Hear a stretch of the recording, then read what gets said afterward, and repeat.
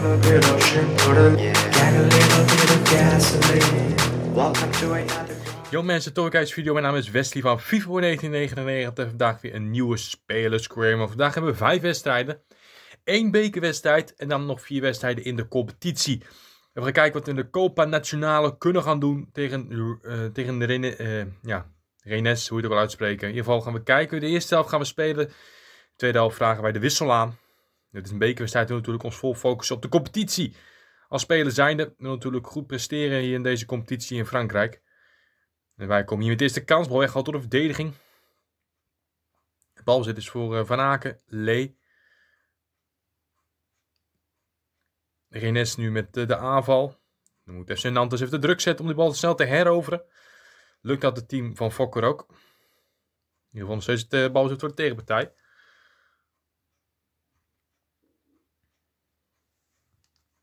En we hebben de bal dus uh, rondgetikt hier. Kunnen we de bal onderscheppen? Dat doet het nog niet. Dus is het Rennes die nog steeds uh, balbezit heeft op een gevaarlijke plek. Ja, wij staan voorin. We kunnen natuurlijk niet zoveel doen. Hier komt ook de kans. En nu wel verdedigen. Nu de aanval opzetten. Dat lukt. Geven de bal goed op ons. Wij geven de bal weer terug. Moeten wij naar voren zien te lopen om daar de kans te krijgen. We krijgen ook de paas mee. We moeten nu vallen eigenlijk voor de 1-0. Komt hij dan ook? En het is ook de 1-0. We staan voor. Wij mogen het doelpunt maken binnen een kwartier. 1-0 voor FC Nantes. En wij met ons doelpunt. We vieren op ons, uh, ja, met onze celebration. En het is dus de 1-0 voor FC Nantes in deze bekerwedstrijd.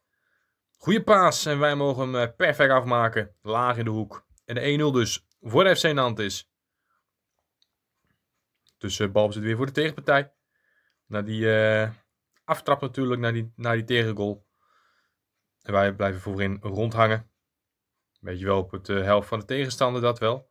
En ook een beetje op onze eigen helft. Hier vangen we de bal op. Uh, lopen we elkaar eigenlijk in de weg. Bijna kunnen we de bal nog onderscheppen. Maar nog steeds de bal dus voor uh, Rennes. Het is nu moet druk zetten. Dat lukt niet. Dan komt er een gevaarlijke kans. Eigenlijk toch de verdediging die de bal heeft. Nu de bal naar voren zien te krijgen. Dat lukt ze niet. De bal is onderschept door de tegenpartij. En nu weer hun kans. Met uh, Terrij. Terrier, Lee, verdedigd. Wordt het niet, dan komt er nog de kans en dan opnieuw uh, goed onderschept. De bal is weer voor FC Nantes. Fokker krijgt de bal. Oké, moeten wij nu de paas geven? Oeh, we raken de bal kwijt op een hele gevaarlijke plek. Er kan er zomaar de kans komen voor de gelijkmaker. En die kans, die komt er niet. Weer goed verdedigd en nu de bal weer hier bij ons. Oké, dan moeten wij nu wel goed de bal meegeven. Dat gebeurt ook. Half uur gespeeld. Oké, goede paas terug. Jazeker, dan moeten wij eigenlijk nu voor de 2-0 gaan. Lukt het dan ook? 28e minuut. Nee, de redding van de doelman. Hoekschop wel voor FC Nantes. Kijk op deze hoekschop wat gaat worden voor Nantes. Laag, goed. Kunnen we meegeven, kunnen we hem schieten. Schot geblokt. Vangt er een uh, speler van uh, ons op? Nee, het wordt ingegooid, dat wel, voor FC Nantes. Waar niks uit kwam. Minuut uh, 2, 34 ondertussen hier. Fokker. Geef hem perfect mee, zeg, op de flanken. Kan diegene hem voorgeven. Hier dan. Jazeker. En dan hier een prachtig doelpunt zeg. Het is onze tweede doelpunt. 2-0 met een volley. Scoren wij de 2-0 in deze wedstrijd. Goede paas was het ook. En fantastisch binnengeschoten door ons. En het is dus uh, de 2-0 voor uh, FC Nantes. Je zien we het perfect gedaan. En het is de 2-0. Nog voor rust. Minuut 36. Ondertussen al minuut 38. Waar wij de gele kaart hebben gekregen. Na een overtreding. Hier komen wij trouwens uit. Met de voorzet kan hij goed vallen dan voor Simon en de redding van de doelman. Had het zomaar 3-0 kunnen zijn nog voor rust. Wel de hoekschop voor de FC Nantes. Hoekschop wordt genomen. Lang. Kunnen wij de bal niet meekrijgen? Kunnen we de bal nog voorgeven? Ja, dat lukt wel nog. Dan moet hij nou misschien vallen. En dan valt hij ook. Het is uh, 3-0. En wij krijgen de bal per toeval nog gelukkig voor. En is het dus de 3-0 voor FC Nantes.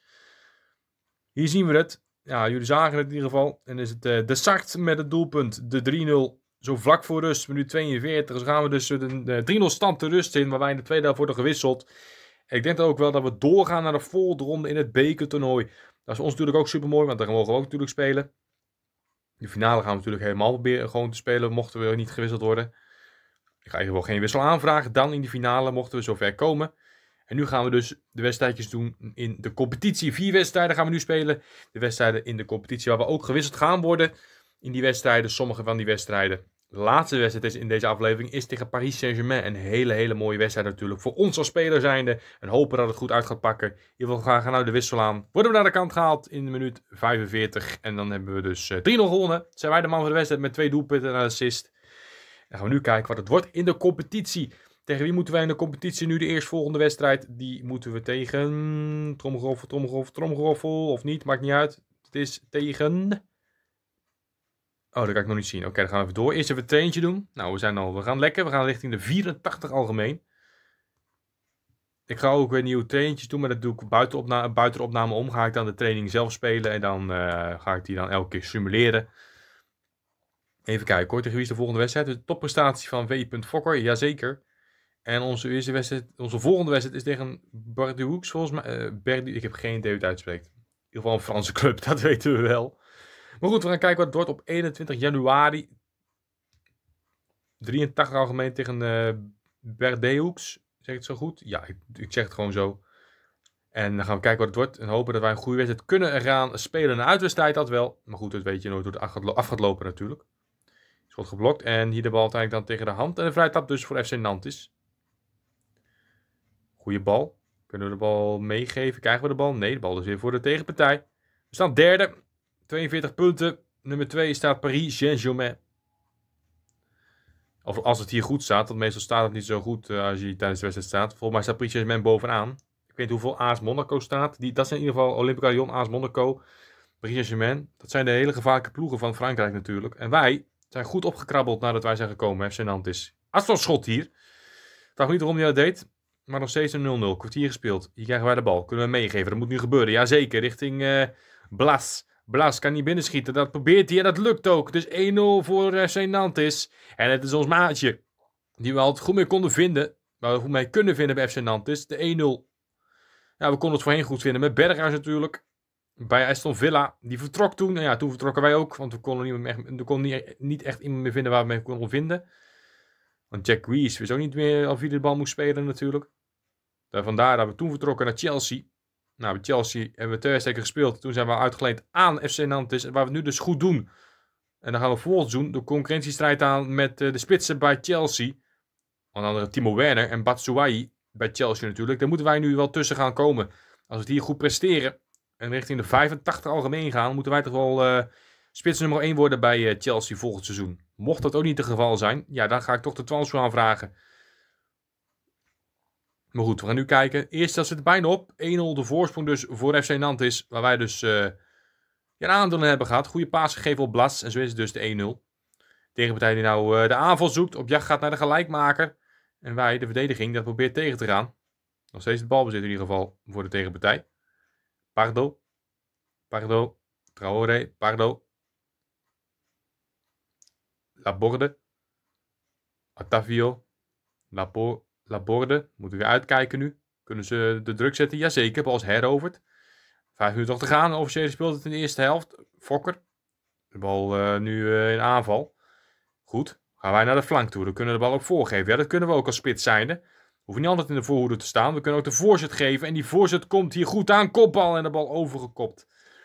Tussen de tweede helft net begonnen. Balbezit is voor de FC Nantes. Zo wij gelijk de aanval zoeken in het begin van de tweede helft. Kunnen we ook gelijk het maken. We kappen weg. Gaan we eigenlijk niet moeten doen, maar we moeten schieten.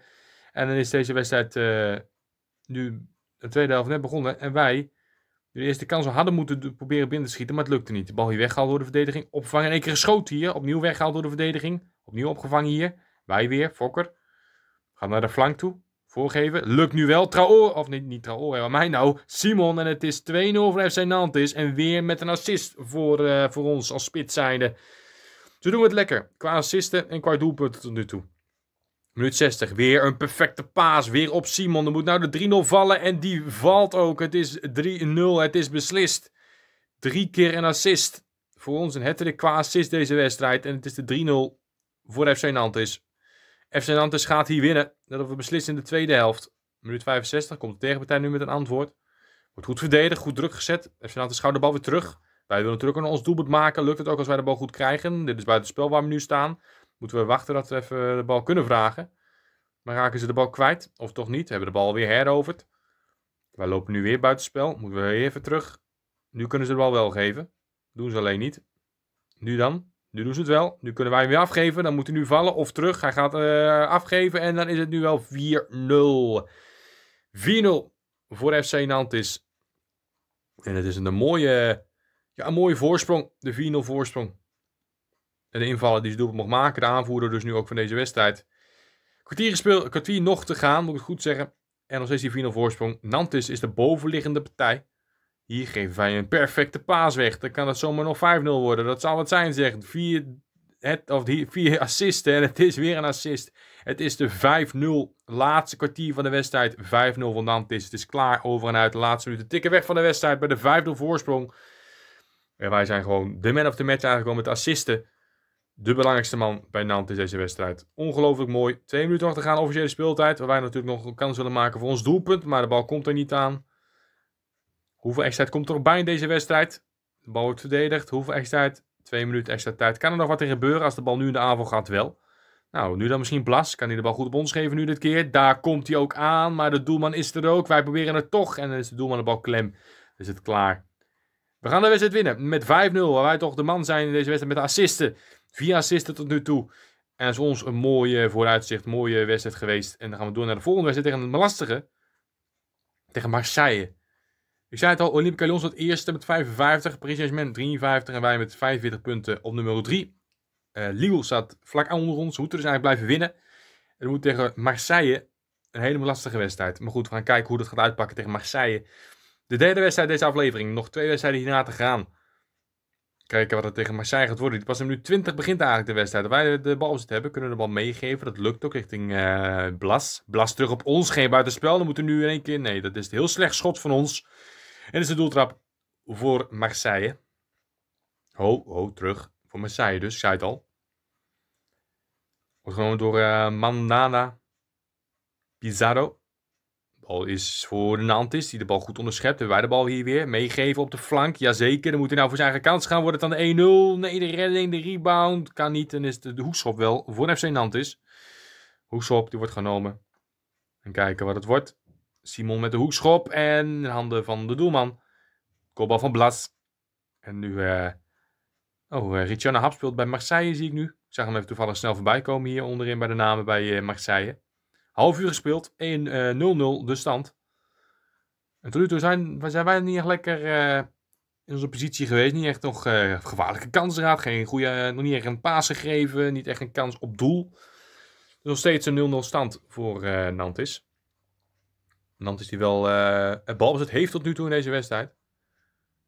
En hier met een half uur gespeeld komt hier de bal nu goed bij Blas. Of is het de doelman die de bal heeft? Het is de doelman die de bal heeft. Dus de kans weer voorbij voor uh, FC Nantes. Oeh, slordig gedaan door de doelman. Dan kan hij zomaar een fout komen. En ik kan Verwaaien proberen te schieten. Maar de redding weer van die doelman. De doelman kiept goed hoor. Van Marseille. Hoeks opgenomen. Voorzet, kopkans. En de bal naast. Opnieuw, uh, nee, nu de doeltrap voor uh, Marseille. De bal ging naast van FC Nantes. Doeltrap het nu genomen. Pizarro kan hij de bal controleren. Nee, wij krijgen de bal. Oké, mooi. Nou, dan hebben wij de bal nu voor Blas. En dan moet Blas hem nu wel maken. Lukt het dan nu al voor de 1-0. En nu is het wel raak. 1-0 van FC Nantes. En wij weer met onze assist. En de 1-0 in deze wedstrijd. Minuut 36. Zo vlak voor rust komen wij op voorsprong. Na lang wachten dus. Een goede paas geven en 1-0. Ondertussen de tweede helft alweer. 50ste minuut. Nantes op een voorsprong. 1-0 dus nog steeds. Volker met de bal herover, maar dat lukt niet. We hebben de bal niet. En de bal is dus weer voor uh, Marseille. Almada. Pizarro uitkijken, afstandsschot in de handen van de doelman. Goed, klem. Minuut uh, 54. Krijgen de bal goed mee daar op de flank. Goede paas. En nu moeten wij even terug naar voren. Loopt er lopen wij niet echt naar voren vrij. Nu wel. We moeten even wachten tot wij de bal uh, willen. Dat uh, doen we nu. We vragen om de bal. We gaan van afstand in de handen van de doelman. Ja, het was te proberen, maar het lukte dus niet. Jammer genoeg. Het is dus nog steeds de 1-0 voorsprong voor FC Nantes. Wij natuurlijk ook nog wat willen doen. Natuurlijk wij ook voor ons doelpunt gaan tegen Marseille. Ja, de belangrijkste wedstrijd is de wedstrijd tegen Paris Saint-Germain. Laatste wedstrijd deze aflevering. Hierna nog één wedstrijd en daarna nog een wedstrijd die tegen Paris Saint-Germain. Daar willen we natuurlijk op ons best zijn. Hier goed onderschept. Oké, wij kunnen de bal weer goed meegeven. Blas komt er weer de kans voor FC Nantes. Bal terug. Wij lopen naar voren hier. Er wordt er de steekpaas gegeven. Dan moeten wij weer voorgeven. En dan wordt die, hebben we iets te ver. Toch nog Blas. Oké, nu Traoré. En dan is het... Uh, oh, dat was geen Traoré, maar het is wel de 2-0. 2-0 voor FC Nantes. En wie is dan de doelpunt te maken? Het even zo gauw niet zien, maar het is wel 2-0. Maakt er niet zoveel uit. 10 minuten nog te gaan, 2-0 dus de voorsprong. Waar wij dus een belangrijk aandeel in hadden. Oké, ik kan nu de voorsprong geven voor de 3-0. Dan zou het beslissende zijn. De tweede helft dus eh, om het helemaal klaar te maken. De tweede helft, de bal verdedigd. Opvang hier door eh, Blas. Terug naar Fokker. Controleren, schieten, schot geblokt. En dan is het eh, de ingooi voor FC Nantes. En de wissel ook bij FC Nantes, zie ik. Ingooi wordt genomen. Mooi uh, trouw naar Simon. Simon hier uh, met het schot, maar de redding van de doelman. Toch keept hij goede wedstrijd hoor, de doelman van Marseille. Maar niet wel twee doelpunten door. Dat is natuurlijk mooi voor ons. Voorzet en de bal weer weggehaald. Weer de corner voor uh, FC Nantes. En weer vragen wij hem die bal daar. Nu kunnen wij de bal wel geven. Voorzet, lukt. En hier de kans dan. En dan gaat hij er net niet in. Was een goede paas, maar vliegt er niet in. Laatste vijf minuten. Hier een prachtige paas vragen wij. Nu over de keeper heen. Lukt niet. Weer de bal klem door de doelman. En zit toch volgens mij de wedstrijd al bijna op bij de 2-0 voorsprong voor Nantes. Hier is de slordige paas. De bal komt niet aan. Te hard gepaast door, uh, door uh, Simon. Hoeveel minuten komt erbij? Hoeveel extra tijd komt erbij? Bij de 2-0 voorsprong dus voor Nantes. Tegen Marseille. Hoeveel extra tijd? Het wordt uh, één minuut extra tijd. Dat is niet veel. En misschien komt minuut extra tijd nog wel een kans voor, voor uh, FC Nantes. Als de bal goed gegeven wordt. Van Fokker richting uh, Blas. Nu op de flanken, maar het hoeft niet meer winnen. Dat is buitenspel. En is ook wel klaar. Pizarro gaat nog naar de kant in de laatste slotminuten. Waarom? Vraag je ja, want het gaat toch niet afgefloten worden. Boetje is nog binnen de lijnen. Ook een oud Feyenoord, maar die het is klaar. We winnen met 2-0 van Marseille. Niet echt qua doelpunten, want tot nu toe niet echt belangrijk geweest. Hopen dat het de volgende wedstrijd gaat gebeuren. We gaan trouwens de Transfer en gewoon uh, snel doorheen. Want ja, we gaan toch niet weg. Dus ik ga gewoon even via de kalender dan hup naar de wedstrijd tegen uh, Lens. Dat is de volgende wedstrijd namelijk in de, deze aflevering. En daarna de laatste wedstrijd tegen Paris Saint-Germain. Hopen dat het een mooie wedstrijd wordt voor FC Nantes. We gaan nu kijken wat het wordt. Daarna hebben we de bekerwedstrijd weer. En dat is voor de volgende aflevering, aanstaande woensdag. Morgen natuurlijk weer de Final Career Mode. En waar we in het laatste seizoen zitten, de laatste maanden zitten. Ik heb al aangegeven, tot nu toe staat Steven Berghuis boven... Uh, nee, zeg heel goed. Tot nu toe staat um, Van Persie bovenaan om trainer te worden in de nieuwe Career Mode.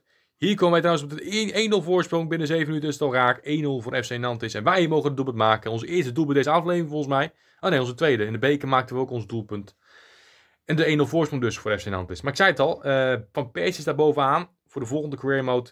Als de Feyenoord career mode stopt, dan wordt Van Persie dus een trainer. Van, er wordt Van Persie de trainer van Feyenoord. En Toornstra werd ook aangegeven, die staat op de tweede plaats. En als we Toornstra zouden doen, dan moeten we dus uh, met de kleine club beginnen. Want ja, dan moet ik Toornstra eerst laten stoppen bij Feyenoord. En dan hebben we eerst, dus misschien hebben we dan RKC, Sparta, VVV staan. En dat, dan is het dus anders. Maar nu kan ik Van Persie zelf maken. En dan kunnen we nu Van Persie gelijk bij Feyenoord neerzetten. Dat is dus voor misschien wel de volgende career mode van Persie. Intussen is het al 2-0, onze tweede doelpunt in deze wedstrijd. Zo ziet maar. Zo scoren we niet. En zo scoren we opeens twee keer vlak achter elkaar. En is het dus de 2-0 voor FC Nantes. Ja, doen het wij toch weer goed. Het is de 2-0. Eerst al bijna voorbij. Minuut 36 loopt. En het is een mooie 2-0 voorsprong voor Nantes. En wij gaan dus vol vertrouwen eigenlijk al naar de wedstrijd tegen Paris Saint-Germain. Waar wij natuurlijk een hele belangrijke rol willen gaan spelen. Als dat lukt. We weten het niet. Laten we het hopen dat het gaat lukken. En uh, ja, je weet in het voetbal natuurlijk maar nooit. Laten we hopen dat het goed uit gaat natuurlijk. Dat is één ding wat zeker is. Hier bal bij Simon. Hier vragen wij hem de bal. Oké, kunnen we misschien over de 3-0 gaan? Dat zou hartstikke mooi zijn. Onze derde in deze wedstrijd. We gaan hem plaatsen. En een fantastisch doelpunt. Onze hat-trick in één eerste helft. Het is ongelooflijk mooi. Zo zien we ons bijna niet in de competitie. Alleen in de beker. Twee wedstrijden stil gebleven. En nu is het dus de 3-0 voorsprong. Zo vlak voor rust. 3-0 van FC Nantes. Drie keer mogen wij dat doelpunt maken. Fantastisch mooi voor de spits. Wij dus van FC Nantes. En dan gaat, Chelsea ook, dan gaat Chelsea natuurlijk ook wel met een schuin oog kijken naar de Franse competitie. Als wij zo goed presteren bij FC Nantes. De eerste helft is voorbij, de tweede helft is begonnen. Maar de bal hier nog binnengebleven is. Staat de wissel klaar. We gaan eruit gehaald worden in deze uh, tweede helft. Natuurlijk ook qua rust voor de wedstrijd tegen Paris Saint-Germain. En dat gaat nu gebeuren. Want hier schiet uh, Lens even zelf de bal uh, over de zijlijn. Over de achterlijn. En is dus de wissel aangebroken voor ons. En dan gaan we door naar de laatste wedstrijd deze aflevering. De wedstrijd tegen Paris Saint-Germain. En die wedstrijd willen we natuurlijk een hoofdrol spelen. Maar ja, zo zie je maar. We hebben nu een hat gescoord. We hebben nog gewonnen ook. Maar of het ook gelukkig tegen Paris Saint-Germain, de ploeg die tweede staat, die winnen natuurlijk. Ja, we willen natuurlijk mee in de buurt komen. Mochten we winnen, dan komen we in de buurt. Paris Saint-Germain is nou gedeeld eerste met Olympica Lyon. En we moeten eigenlijk winnen van Paris Saint-Germain. Het wordt een hele lastige wedstrijd, maar we hopen er het beste van. We gaan kijken wat het wordt. Het is Paris Saint-Germain. FC Nantes tegen Paris Saint-Germain. We gaan kijken wat het wordt. We spelen al en het is minuut, uh, ondertussen minuut 25. Lang niks gebeurd. Bal is hier voor FC. En wij gaan de eerste aanval zoeken in deze wedstrijd eigenlijk. Fokker, we geven de bal goed. Op de flanken. Het is een beetje lastig zoeken deze wedstrijd. Dat valt me wel op. Hier geven wij wel weer goede paas op uh, Blas. Nu uh, hier bij Traoré. Of, ik, wat, wat, wat heb ik met Traoré? Het is Simon natuurlijk. En het is uh, lang stil. Nog steeds 0-0. Waar nu Paris Saint-Germain eruit komt. Is al bijna voorbij dus. En een 0-0 is steeds de stand. En dan is nu Paris Saint-Germain met de kans. Mbappé. Mbappé, Fabian. Fabian, Mbappé uitkijken nu voor de FC Nantes. Komt er de eerste kans. Verdedigen nu. Lukt. Bal weggehaald. Fokker vraag om de bal. Eerste al bijna voorbij. Lang stil. Dus helemaal niks gebeurt eigenlijk voor ons. Hier hebben wij de bal. Kunnen we eruit komen? Hakkie. Terug. Bal teruggeven. Oké. Nu moeten wij eigenlijk nu richting het doel gaan. Maar dan raken we de bal kwijt op een hele gevaarlijke, domme plek eigenlijk. Is nog steeds 0-0. Komt er geen extra tijd bij. Dan is de eerste helft voorbij. Gaan we kijken wat we in de tweede helft kunnen doen. Is het lang stil. Niks gebeurt in onze, deze wedstrijd voor ons in de eerste helft. Hopen dat de tweede helft beter wordt. Waar Paris Saint-Germain de aanval zoekt begin van de tweede helft. Met Mbappé. De gevaarlijke man natuurlijk bij Paris Saint-Germain. Die Maria. Fabian onderschept door Nantes. Nu de bal bezit weer voor FC Nantes. Kunnen wij de aanval nu opzetten. Blas. Wij vragen om de bal. Krijgen hem ook. Oké. Voorzetten nu daar. Er loopt helemaal een speler vrij. Dan moeten we hem nu voorgeven voor de 1-0. Komt hij ook. Schiet kans. Maar de redding van de doelman. Haar eerste kans voor Nantes. Kan nog steeds nu de tweede kans komen. Fokker.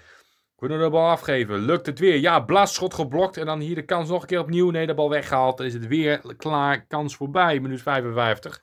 Waar dus al twee keer bijna achter elkaar de 1-0 voorsprong had kunnen komen. Nu komt de countermogelijkheid. Nu komt de kans voor Paris Saint-Germain. Gevaarlijke man. Nu Mbappé. Uitkijken geblazen. En dan valt hij. Het is 1-0 voor Paris Saint-Germain. Wij al de doelpunten hadden kunnen maken. En dan is het... Uh, de 1-0 dus voor Paris Saint-Germain. Daar hapert het een beetje hier, zie ik. Het ligt aan de game. En hier is de redding en is het klaar. Want dan worden we naar de kant gehaald en is voor ons de wedstrijd voorbij. Augustus, eh, twee wissels trouwens, worden allebei naar de kant gehaald. De twee spelers van Paris Saint-Germain. Zit onze wedstrijd erop. 3-0 heeft Paris Saint-Germain gewonnen. Pijnlijke nederlaag voor FC Nantes, maar goed. Het is jammer, het is niet anders. Na een goede wedstrijd, drie een hat gemaakt. De wedstrijd daarvoor tegen Lens is nu dus de 3-0 verlies tegen uh, Paris Saint-Germain. Maar goed, we vol vertrouwen naar de wedstrijd in de beker voor de volgende aflevering. Ik bedankt voor het kijken deze video. Druk op het duimpje als je gedaan.